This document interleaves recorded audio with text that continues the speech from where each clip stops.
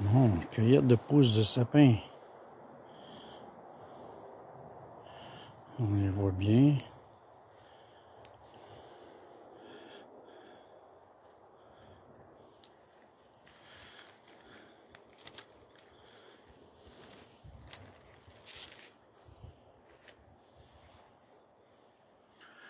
Ici en haut, il y en a plein. Je pense que va pas bien avec.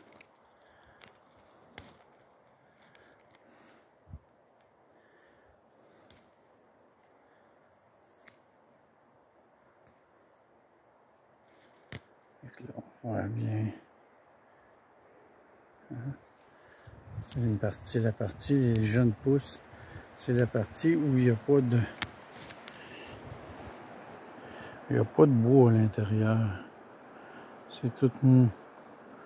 Alors, moi, je vais m'en servir. On peut s'en servir fraîche comme ça en tisane, ça fait une tisane. Ça met, d'en mettre dans notre bouteille d'eau, c'est super bon. Ça fait un eau sapinée. On peut... J'en fais sécher.